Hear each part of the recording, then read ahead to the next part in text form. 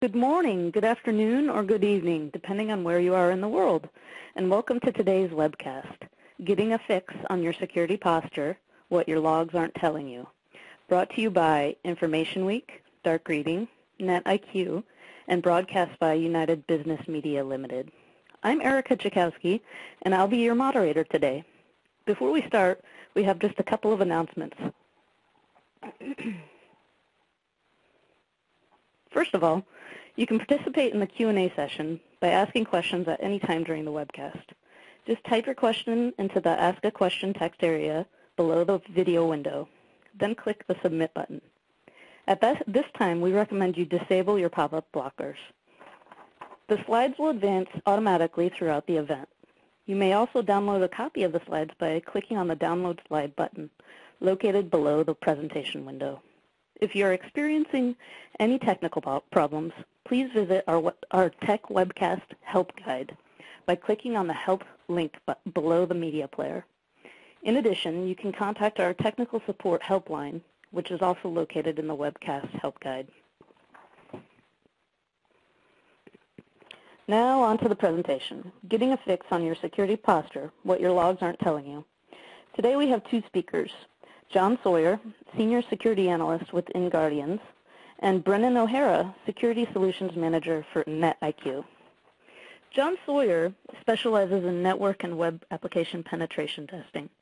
His experience in enterprise IT security includes penetration testing, system and network hardening, intrusion analysis, and digital forensics.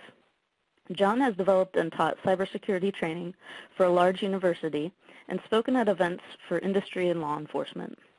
He's also consulted with federal, state, and local law enforcement agencies on malware analysis, hacker attacks, and digital forensics.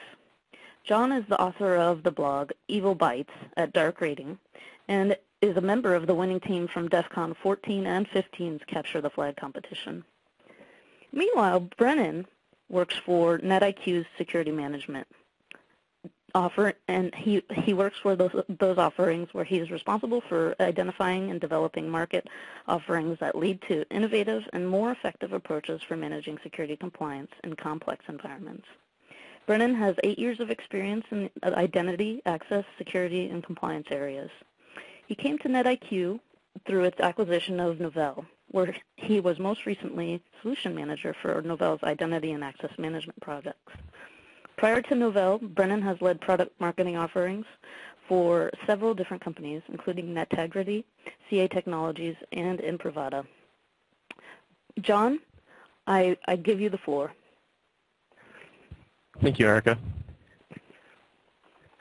So today we're going to be talking a little bit about getting a fix on the security posture within your organization and looking at how those logs can assist you in determining compliance, uh, what kind of attacks are going on within your organization, uh, finding new attacks, and uh, kind of what that means, and looking at a couple of kind of how failures work uh, with logging, some of the typical pitfalls, and talking about how logging can actually detect real-world attacks, and, and we'll look at some examples um, that I have from you know a couple of penetration tests and and uh, incident response engagements that we've uh, worked on.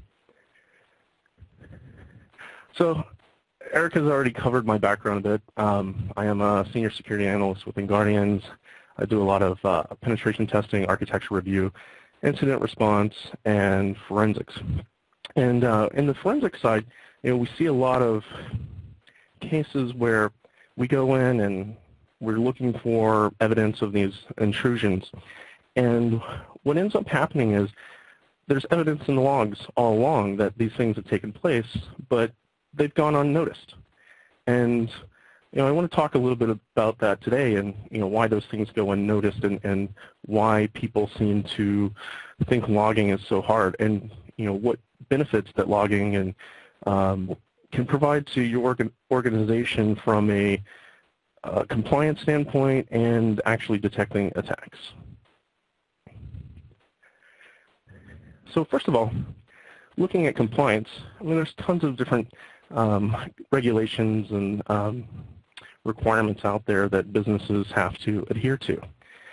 Uh, we've got PCI DSSS, which is the Payment Card Industry Data Security Standard, HIPAA for healthcare, NERC for energy, um, NEI for nuclear energy, FISMA, government, GLBA, and SOX. And one of the things that we run into many times is that companies will purchase a log management solution or a security information and event management solution or a SIEM, and they'll put these things in place, but they never bother to actually monitor them and see, you know, am I getting value from this product that we just spent a lot of money and put into?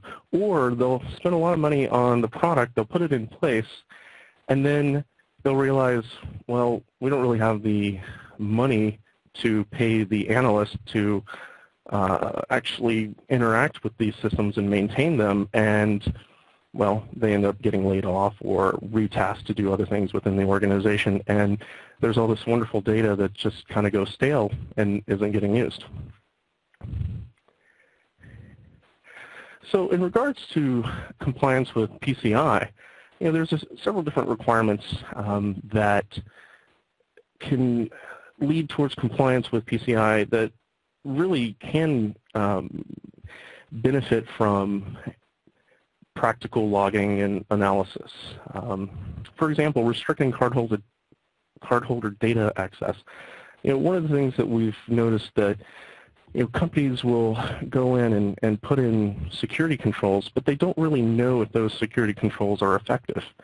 Um, you know, if you implement a firewall that's going to prevent, say, you know, users within uh, marketing from being able to access the financial uh, data or the cardholder data or, you know, any of that information that, that falls within PCI, how do these companies actually know that those security controls are effective?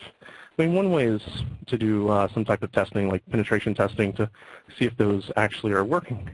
But the other is to actually include logging and have that go to a central system where you can monitor any attempts to access that data that kind of falls without uh, outside the realm of the roles of those people that you've defined have access.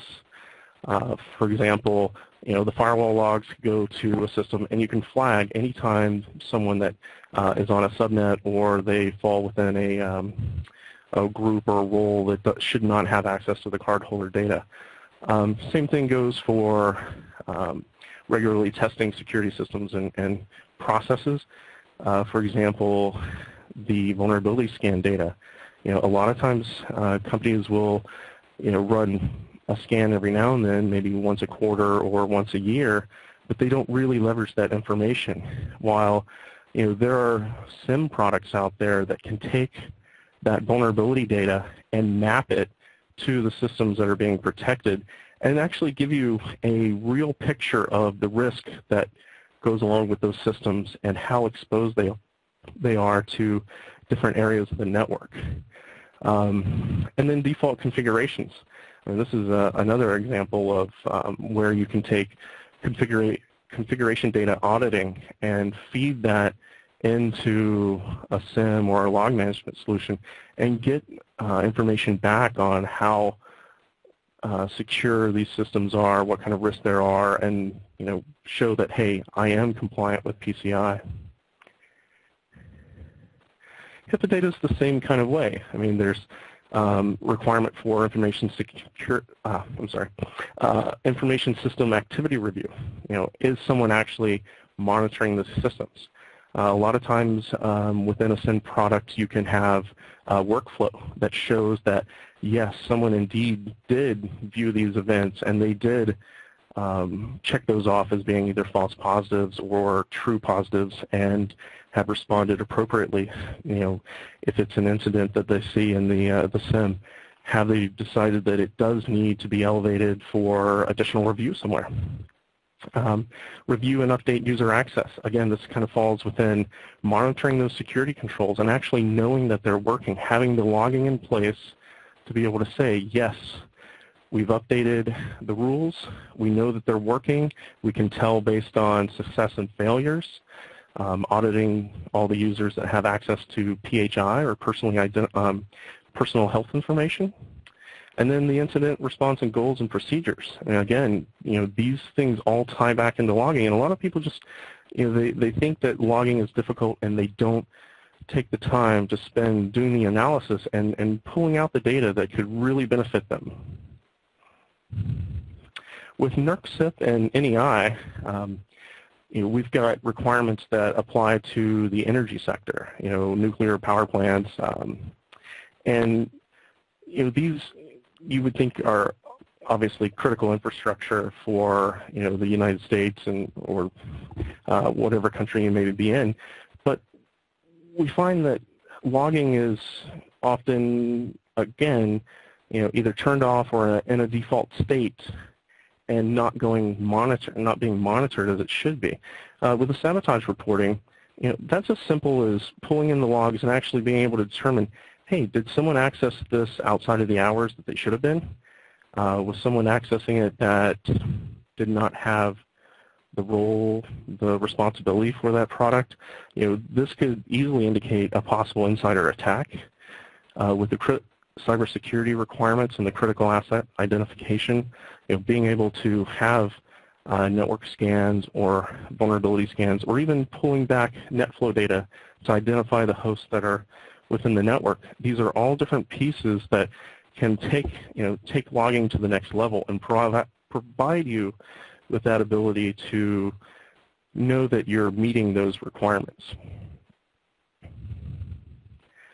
So in the grand scheme of things, what does compliance mean and being able to you know, meet all of those little requirements and, and being able to check off the boxes? Well, they provide nice, pretty graphs for executives. I mean, because in the end, isn't it that isn't the executives the ones that want to see the reports? They want to see, you know, a graph that shows, hey, we're meeting our goals and requirements. Um, you know, and, and that's something that a lot of the SIEM products and log management solutions can provide for you. You know, they have the ability to say, hey, we've seen this number of events, and, and they'll give you a graph that shows, you know, we've had this many failed logins over the last uh, 30 days, 60 days, or six months. And they'll be able to show you a trend. You know, if you have uh, antivirus logs that are being fed into a, a, log management solution or a SIEM, you can say, hey, you know, we've noticed an increase in the malware that's being detected by AV. And that's something you might want to investigate and determine, hey, why are we seeing these increases? Is this something that means we're under more attack? Are we uh, not providing desktops that you know, are as secure? Are they you know, being exploited through these zero, vulner zero day vulnerabilities that are present in Adobe Flash or uh, Adobe Reader? Or is this something where maybe our web proxy isn't providing the filtering capabilities that we expect it should. Maybe our users are going to websites where there's content that you know, is actually malicious and, and attacking these machines.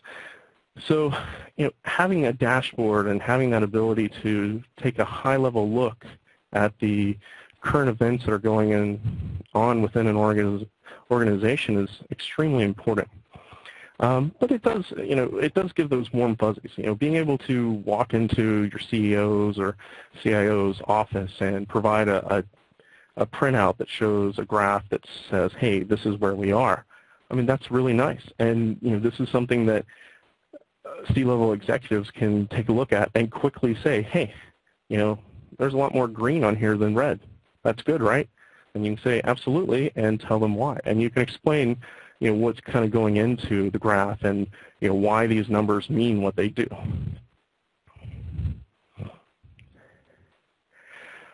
So one problem that I have with meeting compliance is that a lot of times we run into organizations where they feel that compliance equals security, and that's not the case. You know, unfortunately, being compliant it, it often leads to this false sense of security because, hey, if, if I'm PCI compliant, then that means I'm secure, right? And, and that's not correct. I mean, we've seen numerous situations over the past five, six years where companies who have gone through and checked off all the boxes on their PCI compliance checklist and uh, gone through the audit with the um, QSA. Uh, the, they say they're compliant, yet there's all these security holes that are allowing attackers to come in and steal cardholder data. And you know, why is that? Well, a lot of that has to do with the fact that these are kind of a, you know, when you look at compliance, it's it's a base set of recommendations. It's not like where you should stop. You know, you go through compliance, you meet the checklist. There's so much more beyond that. And it's kind of like a, you know, you must be this tall to ride this ride. That's kind of where compliance is. You must be this tall to be compliant, but you need to go a little further to actually be secure. And we see that you know, loads of money are being spent on security products but there's not a lot of focus on the process within the internal organization. You know, they're not taking the time to say, hey, we just put in this SIEM. Now we actually need to have, you know, people that are looking at it maybe 24-7. You know, it kind of depends on what kind of organization you're in, what kind of attacks that you're concerned about, and things like that. But someone needs to be looking at that data and knowing what's going on and being able to understand what's going on. You know, there's got to be some skilled analysts looking at the information, and there needs to be skilled incident responders who can take that data and then be able to move on and investigate an incident properly. And then being able to leverage those logs that are being collected and find a trail of what happened over time and what led up to the actual incident.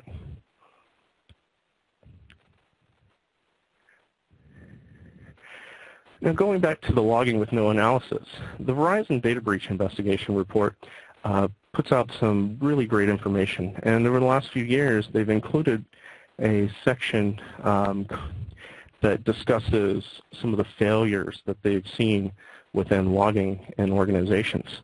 And what gets me is that when you look at the numbers, in 2010, 86% of the data breaches that they investigated had evidence in their logs of the breach.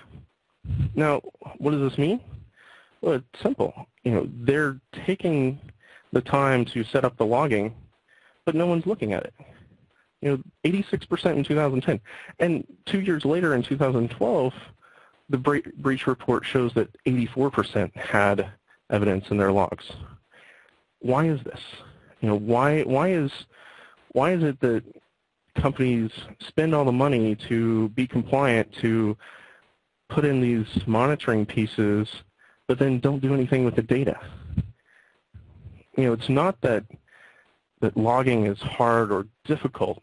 Logging isn't hard. Logging is very simple. I mean, practically everything out there on your network produces logs of some sort. For example, you know, you've got desktop operating systems that have logging features built right in. Is everyone taking advantage of those? No, they're not. And you know, looking at just desktop logs are an easy way to possibly pick up uh, a future insider attack. You know, it could be that you know there's logs that show the user has elevated their privileges, and they now have administrative access on the desktop, and they could leverage those privileges to you know, steal password hashes that they then crack, or they use in a pass the, pass the hash attack to gain access to other desktops, which could lead to full compromise of an Active Directory environment. I mean, there's all kinds of different things that, you know, just by having the logs available and taking a look at them and knowing what to look for, which is sometimes difficult, uh, but comes with experience, you know, being able to have that data can have a profound effect on finding and preventing a lot of these breaches that we investigate. And logging doesn't, you know, the solution doesn't have to be expensive. Now there are some really fantastic products out there that you know, are on the expensive side, but you know, when you think about the cost versus functionality and the insight that you gain into your enterprise, you know, the cost is negligible at that point. Um, you know, it really comes down to how important is the data that is stored within your organization and, and to what lengths are you willing to go to protect and monitor that it is actually uh, secured and being protected.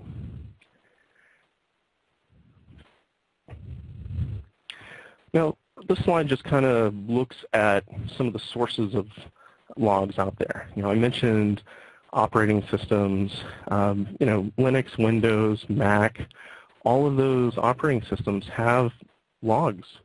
Um, you know, it's just whether or not you're taking the time to take that those logs from those systems and report it back to a central area where you can actually monitor and provide analysis of those logs.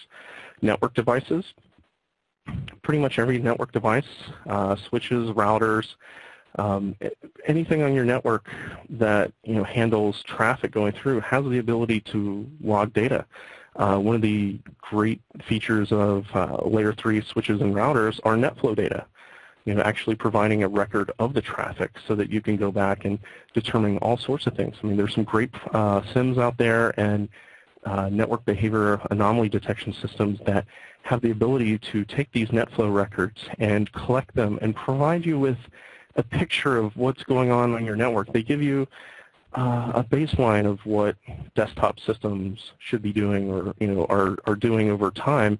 And then when, let's say, a desktop starts acting as a server, maybe uh, it suddenly starts running an FTP server or a web server or an IRC server, um, you know, one of the, these tools can actually flag that and say, hey, you know, we have uh, a system out there that has always been a client, but now it's acting as a server.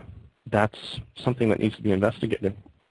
You know, if you see that a host has uh, suddenly started transferring a lot of data, um, you know, there's research out there from uh, the U.S. CERT that shows that in the in the 30 days prior to uh, a disgruntled employee leaving who is stealing, who plans to steal data, the last 30 days is that window of opportunity where they start downloading everything possible. And if you start seeing that there's a desktop suddenly downloading gigabytes and gigabytes of data from one of your servers, and that's out of characteristic of, of that system, that could indicate that that person is you know, possibly uh, trying to steal data and take it to a competitor uh, before they leave. So that's something to, to take a look at.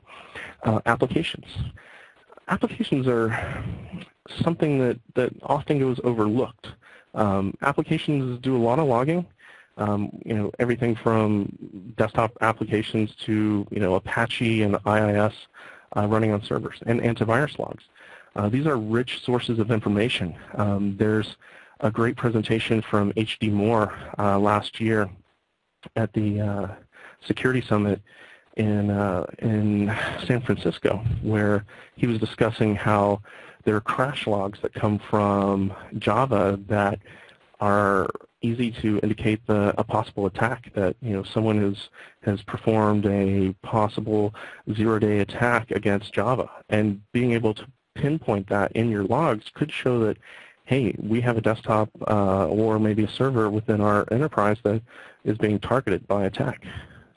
Intrusion detections uh, systems, these are, again, excellent sources of data. Uh, application and hardware performance monitoring.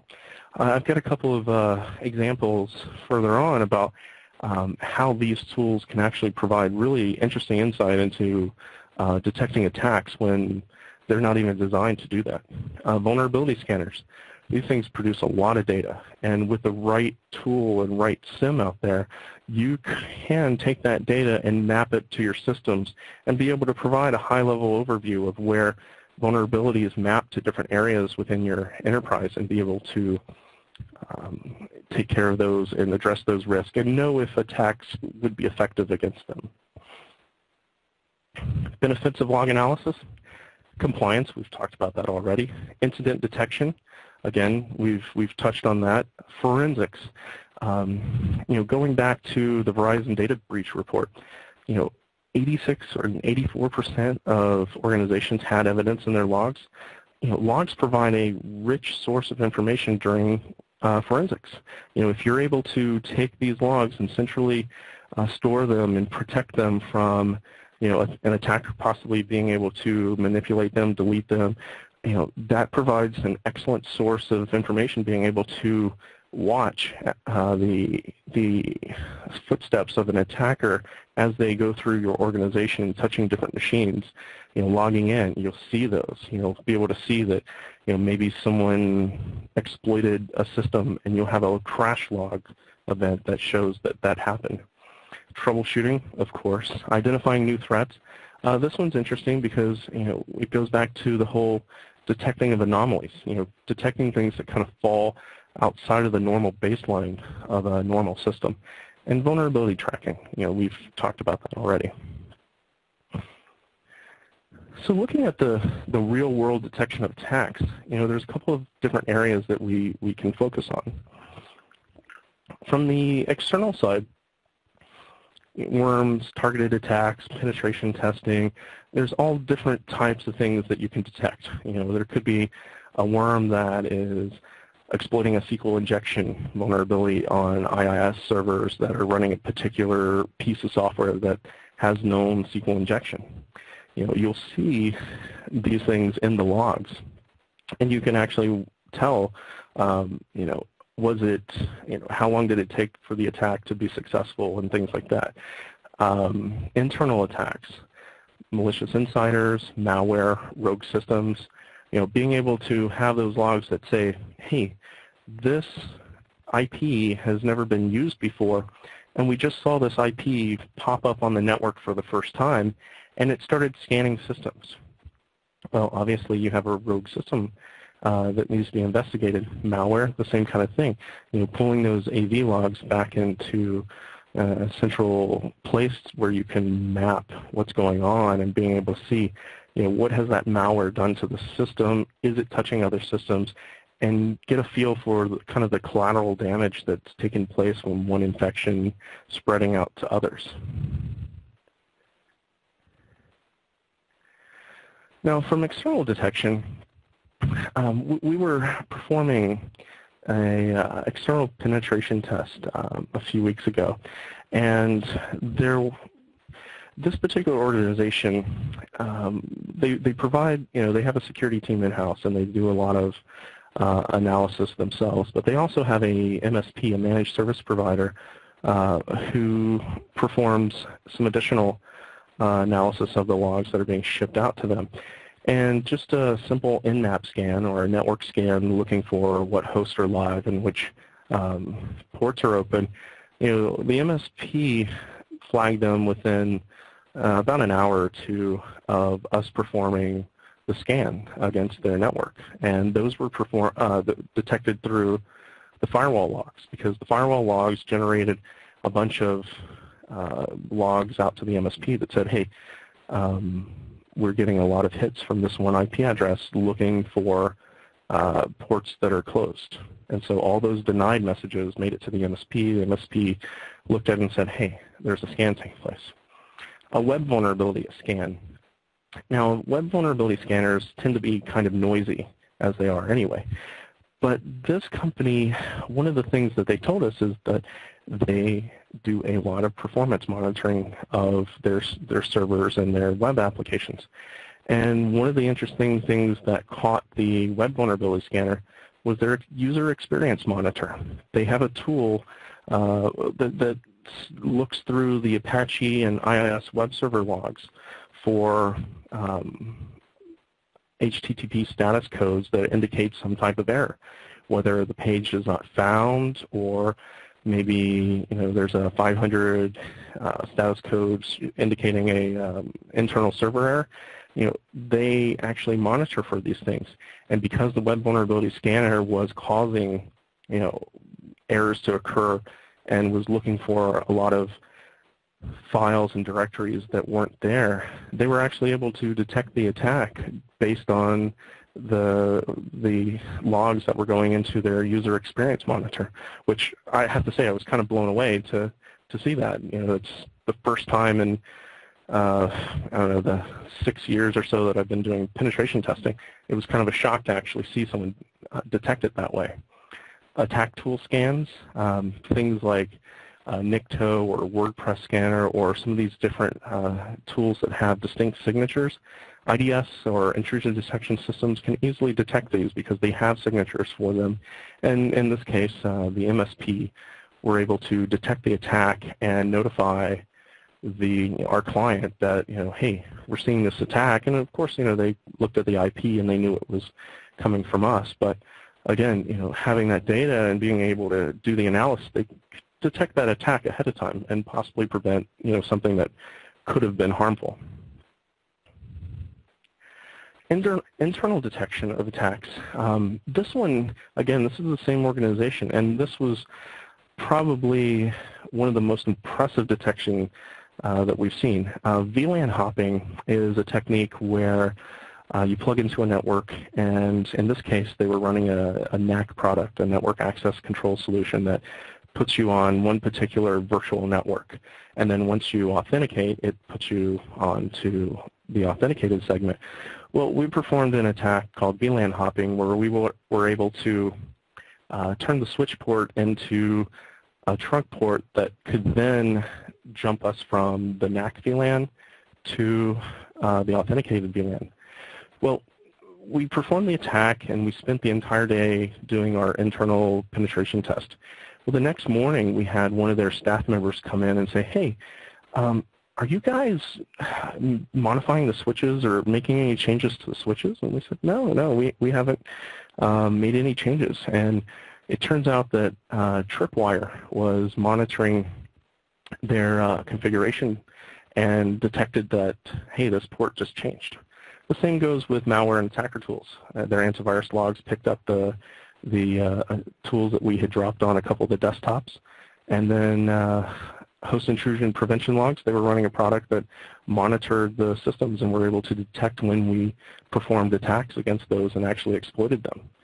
Um, so there's all different types of detection methods and, and ways that you know these logs could be fed into different monitoring and and uh, analysis solutions that can detect these attacks. So it's quite amazing what you can do if you collect the logs and do analysis of them. So now I'm going to turn uh, the presentation over to Brennan O'Hara uh, with NetIQ, and he's going to talk uh, a little more about log analysis and what they can do to help you with your security posture. Hey, great. Thank you, John. Uh, hello to everyone. Uh, as John said, I'm Brennan O'Hara, a Solution Marketing Manager at NetIQ, and as the sponsor for today's webcast, I want to thank you all for your attendance today.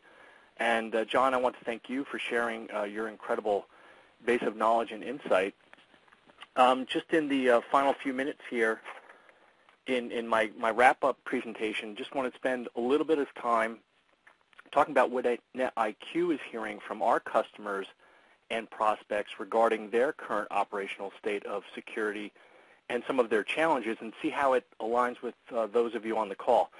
You know, what we hear as key objectives from security professionals continues to be, hey, we need to protect our information assets, we need to demonstrate compliance, and wherever possible, we want to add value to the business process through the use of security technologies and security best practice. but there are clearly many challenges, as and John outlined many of these. There's different types of threats that are coming into your environment that you need to defend against. Uh, the computing environment is constantly changing. There's the introduction of you know virtual workspaces, the cloud, and you know this increasing proliferation of unmanaged mobile computing devices coming into the environment that's you know creating all sorts of new havoc uh, for IT folks. And likely your resources are stretched pretty thin uh, across multiple projects. You have conflicting priorities, and, and likely with less budget and time than you had the day or year before. So, you know, that's a tough thing to do to manage against all of that, especially when the business is going to keep moving forward uh, with or without you, and they're, they're always going to side with productivity over a security.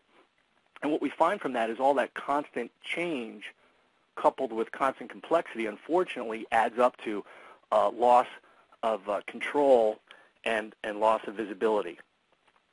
So today we've talked a lot about log management, about SIEM, uh, you know, as John said, um, you know, those technologies, they've been around for a long time to help address the challenges that we've talked about today, to get help, uh, you know, you get a fix on your security posture, as John just reviewed. And, and as John has said, you know, log management, it should be easy, and there are lots of logs out there, um, but there are known, I think, historical problems with older generation solutions that are out there, and maybe these things are familiar to you because the space, you know, log management SIEM technology, is, it's going on 10 plus years now, and some of those first generation tools have failed us. Um, you know, log management products have often proven to be too tactical or too limited in their function. So they may have helped you check off a compliance box, but have done little to provide any real security intelligence about threats in your environment. And you know, as John said, there's many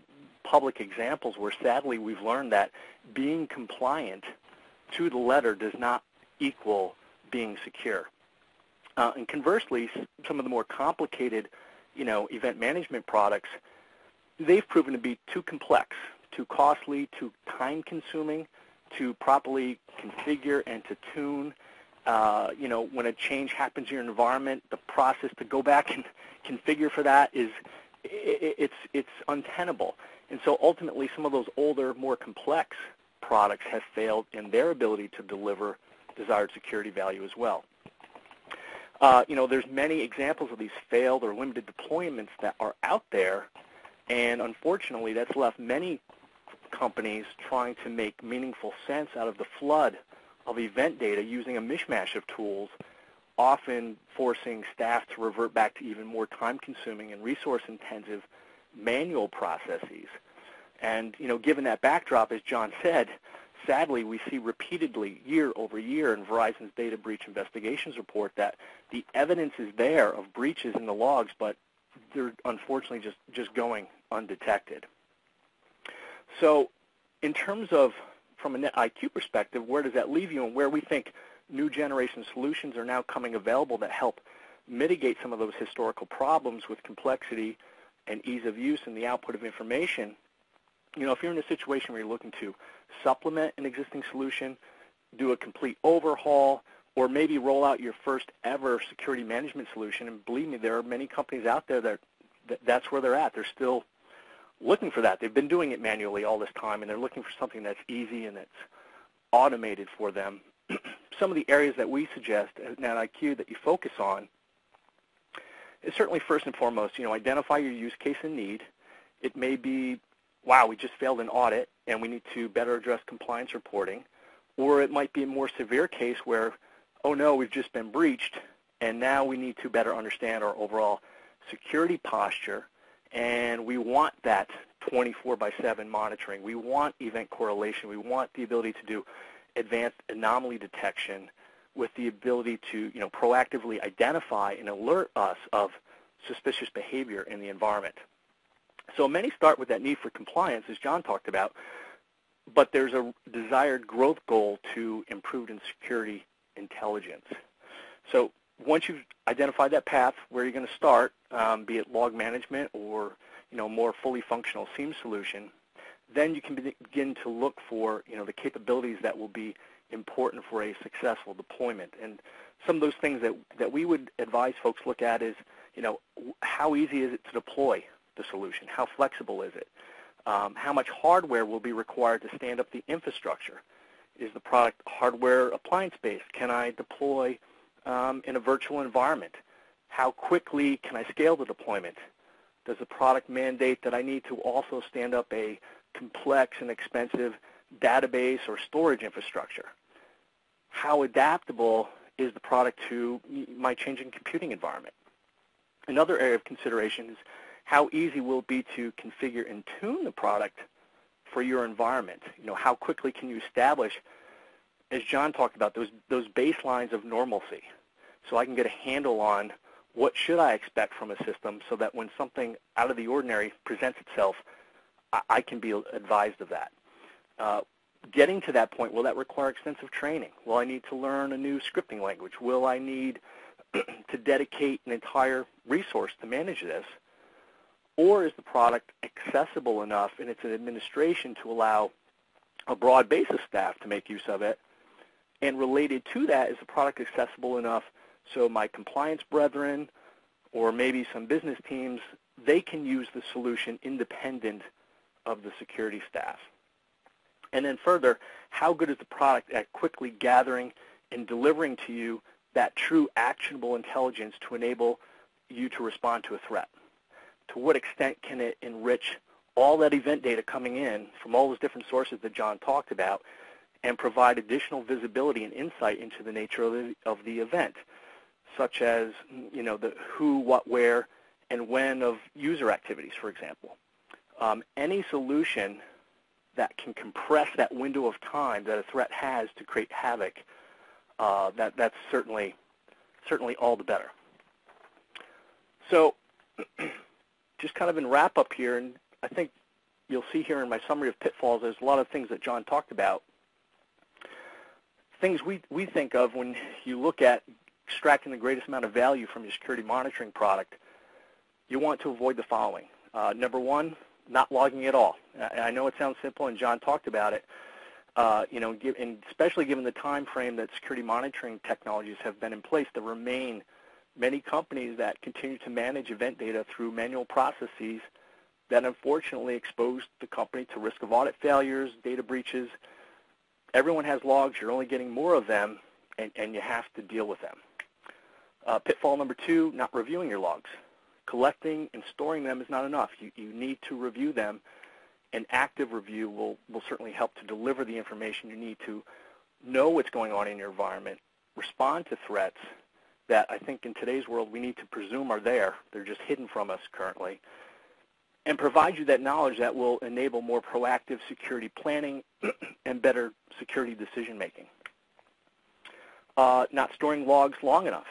Um, I, I know it can be a problem to store log data that accumulates into terabytes worth of expensive storage space, but given the nature of today's threats that may percolate and bubble beneath the surface for months at a time, when a threat is discovered and that forensic investigation begins, you don't want to be caught in a dead-end state because log management or log information was deleted due to a limited re retention policy.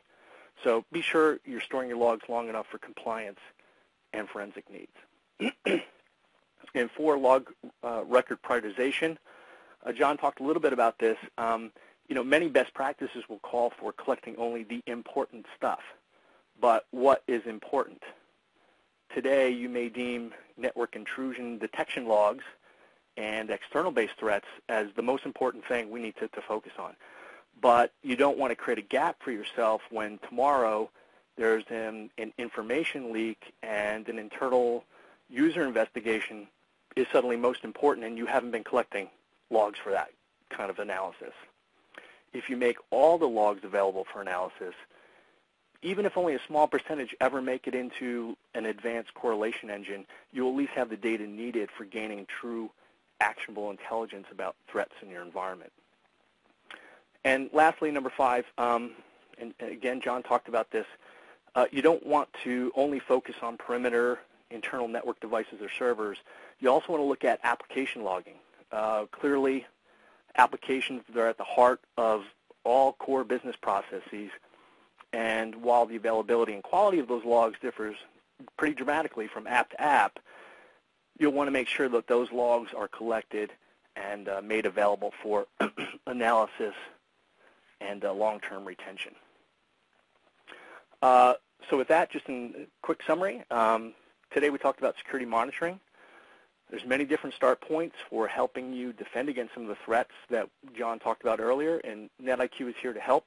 We have a broad portfolio of integrated identity, access, and security management solutions to help you address your data protection and compliance needs, all of which you can learn more about at netiq.com. And with that, I would like to just advance these slides and hand the uh, presentation back to, to Ericka. All right. Thanks a lot, Brennan. Appreciate it. Uh, before we start today's Q&A, I just ask all the audience members to please fill out the feedback form that just opened up on your, your screen. To complete the form, just press Submit Answer button at the bottom of the page. And thanks in advance for filling this out. This actually helps us to better serve you for future presentations. Now on to the questions and answers. Um, I have a couple questions for you guys. Um, first of all, you know, we discussed this whole idea of of prioritization of, of logs, and I'm, I'm just wondering, John, if you could go further into depth about about this. Um, when it comes to deciding what sources that you're going to analyze, if you don't have a lot of resources, how do you go about prioritizing? Um, what are some best practices you can offer, John?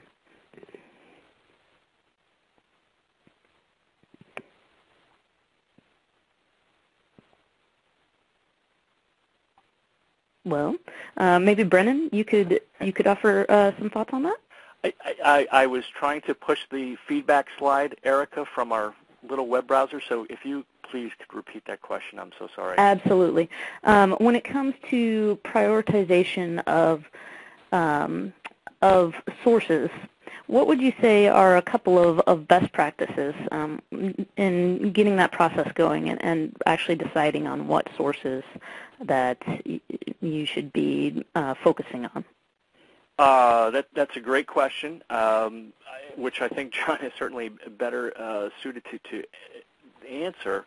But from our perspective, again, as we talked about earlier, we, you, and, and John talked about it as well, you want to look at as, as many logs as you can.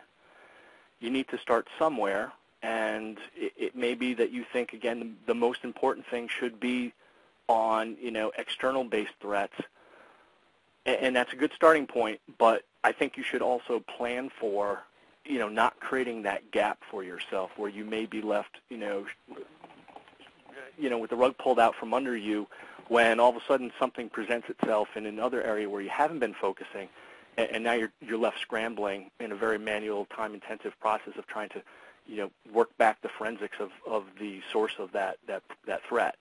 So I would look at everything in its entirety as, as John laid out. There's many, many things to start with. Start somewhere, but I, I would have a plan to try to pull in all the, the key things from an external and internal uh, prioritization. Probably apps maybe being secondary to that, but um, certainly all those, those typical things like that he talked about, um, internal network devices, servers, the perimeter, et cetera. Excellent. Um, John, I'm wondering if you could weigh in as well. Uh, when it comes to prioritization, what would you say are you know some of the, the best practices in your mind um, in going through that process of, of deciding which sources to to analyze most fully? Sure. Um, it's a lot on the the business uh, and what their focus is on. One of the things that we tend to ask our clients is, what is your worst nightmare? What is the thing that keeps you up at night? So, you know, if a data breach of a particular source of information is your biggest concern, then start looking at the logs that are uh, focused on that particular area of data. You know, look at the logs of the firewalls that protect the data center that uh, where that system is contained. Look at the logs that are on those systems that are housing that data and trying to make it a little more goal-oriented so that you are uh, looking at the logs that, that kind of mean the most to you because, you know, let's say there's a huge business impact if, if that data gets lost or gets out there. Um, that's that's kind of where we would try to prioritize and then step back and, and, and look at you know those high risk areas and just try to model your analysis around there and prioritize based on, on those. All right. Well, that makes sense. I mean, uh, on the obvious next question, and, and one which Brennan kind of answered a little bit in his pitfall section, is um, how do you go about deciding how long to keep your logs? Um, what would you say are the factors in, in making that decision beyond the obvious of you know compliance mandates? A lot of times it's going to depend on the tools that you choose and the, the ability to um, keep the historical records. I mean, if you think about what makes up a log, logs are just text records. I mean, there's it's text. Text compresses very easily. So if you wanted to collect as much data, um, you could actually have a shadow system that is collecting all the logs, while certain portions of the logs, if you, you know, if, if you, if you prioritize the analysis, you can have you know those high-risk systems, those logs going to the SIEM and doing your analysis there. But you could also have all the logs, every bit of them going to, say, a Linux system uh, running syslog that is taking them, compressing them, and archiving them over a period of time. I mean, it doesn't have to be a really expensive high-end solution to be able to do that. You know, you take the logs in, you compress them, and you put them on, you know, a multi-terabyte hard drive that, you know, isn't costing you very much money. And now you have a nice historical record that if something does happen, you can go back to that shadow system and take a look at those logs. Um, you know, and again, it really comes down to what are the goals of the logging and whether or not you know the primary solution that you're using for analysis can handle those, and whether or not there's compliance reasons that or specific requirements that require you to keep them for a certain amount of time. Okay. Well, you know, often budget is one of the biggest challenges in taking log management to the next level.